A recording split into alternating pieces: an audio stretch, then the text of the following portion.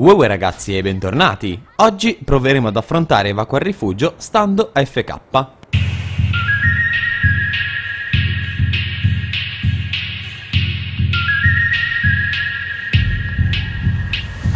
Allora, eccoci qua, missione evacua al rifugio al 140 difficoltà 4 giocatori. La proverò ad affrontare in solo, purtroppo raga la prima ondata questa non si può fare in nessun modo. Bisognerà uccidere 20 nemici. E se volete un consiglio appunto per evacua al rifugio Sappiate che anche se l'affrontate con un team di 4 persone, se siete magari 4 amici Mettetevi sempre d'accordo e fate lanciare in missione solamente uno di voi. Così, al posto che effettuare 120 kill con zombie al 163 Ne dovrete uccidere solamente 30 Che poi coi piccoletti pezzetti, basta un colpo di atomizzatore, già ne fate fuori una decina. Insomma, avete capito bene. Allora, Evacua il rifugio è una missione particolare perché il rifugio è davvero grosso rispetto al pallone di recuperare i dati, quindi molte volte ce lo fanno spawnare in una zona non molto confortevole da poter difendere, però dopo questo video vedrete quanto è facile poter affrontare anche Evacua il rifugio FK.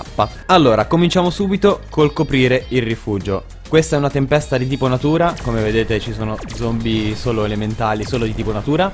Quindi andremo a costruire assolutamente col mattone Perché sappiamo che il metallo è molto debole contro gli zombie di natura. Quindi procediamo con uno strato di muri di mattoni.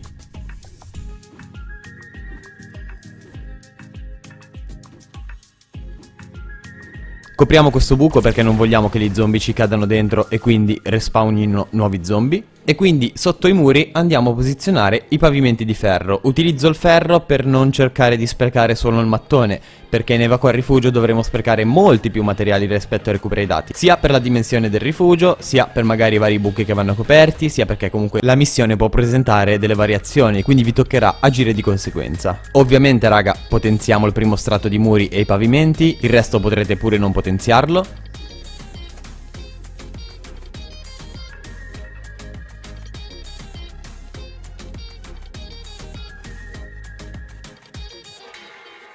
Poi il secondo strato del rifugio che ovviamente raga non ci attaccheranno mai Quindi andiamo col legno ma possiamo pure decidere di non potenziarlo. In questo video io potenzierò tutto giusto per l'aspetto estetico Poi ci metto sopra la base che comunque essendo che il rifugio è grosso cerchiamo di sfruttare anche il riciclo. Ci mettiamo sopra la base, cerchiamo di potenziare tutto il prima possibile Così appena andremo a mettere la base inizierà subito a riciclare i materiali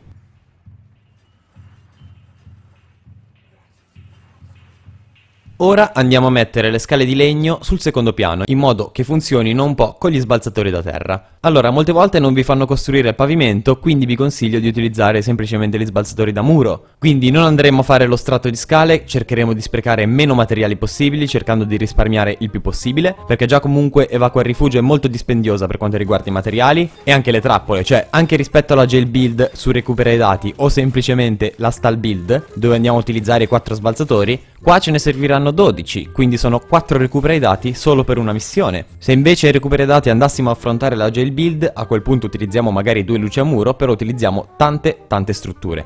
Però il consumo di trappole per evacuare rifugio è leggermente superiore. In questo caso andrò a utilizzare solamente gli sbalzatori da terra, potete utilizzare anche quelli da muro, è totalmente indifferente. Io ho utilizzato quelli con doppia velocità di ricarica e il resto full impatto tranne l'ultima perk di durevolezza. Ho sprecato un po' più di materiali del previsto per coprire quel buco dove c'era la casa e addirittura l'ho maxato con metallo al 3 per non rischiare. Comunque, nella parte superiore ci vado a mettere esclusivamente la base, non andrò a utilizzare trappole antiaeree, tanto non nasceranno streghe o lancialtroni se non andiamo a uccidere i primi zombie, quindi importantissimo. Quindi anche qui risparmiamo trappole, potenzio tutto comunque per il riciclo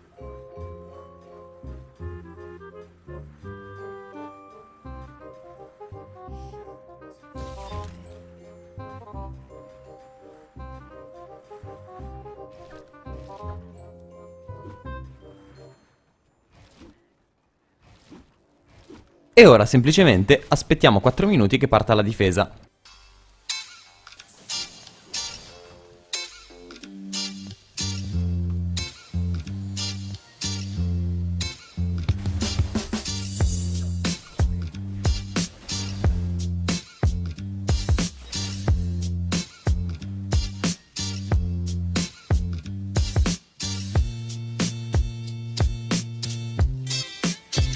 Allora, la difesa sta per partire, mi faccio un po' di protezione, non è essenziale raga ma me la faccio giusto per gli occhi belli E vediamo un po' come va Allora, gli zombie arrivano tutti da due punti diversi.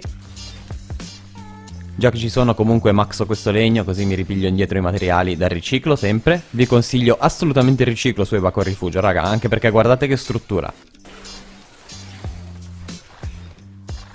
Teniamo d'occhio gli zombie, vediamo un attimo come va.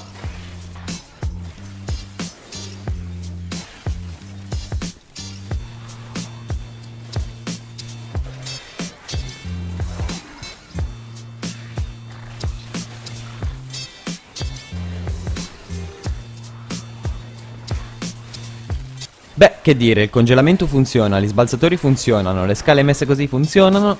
Non vedo perché dovremmo fallirla. Il sistema funziona.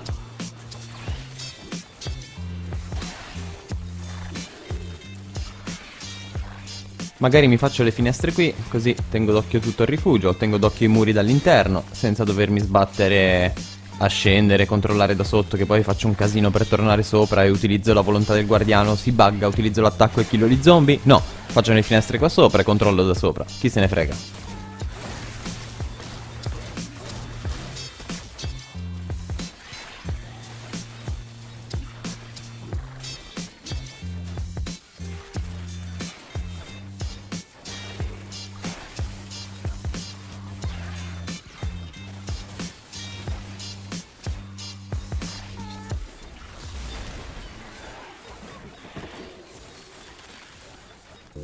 Allora, che build ho utilizzato per questa missione? Ovviamente Re dei Ghiacci come primario con il vantaggio squadra del riciclo. Vi ricordo che comunque non andiamo a uccidere zombie con le trappole, quindi non ci servono le trappole super caricate. Il riciclo, essendo che comunque il rifugio è bello grosso, beh raga è molto più utile che recupera i dati. Quindi poi andiamo a mettere modulazione di potenza, le salute si rigenerano automaticamente mega base, assolutamente, così andiamo a prendere un raggio molto più ampio per il rifugio, che è abbastanza grosso. Superbe architetture, quindi aumento la salute degli edifici. Ovviamente potete utilizzare lui anche come primario, eh raga. Trappole robuste, vado a incrementare la durevolezza delle mie trappole. In più anche le mie squadre superstiti mi incrementano la durevolezza delle trappole. I miei sbalzatori da terra in questo caso, in questa missione, hanno 60 utilizzi. E vi dico che comunque sono restato al 131. Non ho inserito tutti i superstiti che mi vanno a incrementare la durevolezza, in quanto comunque sono solamente 6 minuti di difesa. E poi tutto antibomba, ma questa è una variabile, scegliete voi cosa mettervi. Potete mettere anche la perk che vi restituisce la salute se state sopra il raggio della base. E ripeto, perché ovviamente il rifugio è molto molto grosso. Stendardo e campo lento semplicemente. In caso comunque di una situazione critica, sia lo stendardo che il campo lento sono molto utili. La cura di adrenalina in questo caso non ci serve assolutamente, anche perché mettete lo stendardo sopra il rifugio e ogni volta ci rinascerete vicino. Così potrete sfruttare anche questo piccolo particolare per andare in giro a farmare nella mappa e poi uccidervi per rinascere subito vicino al rifugio.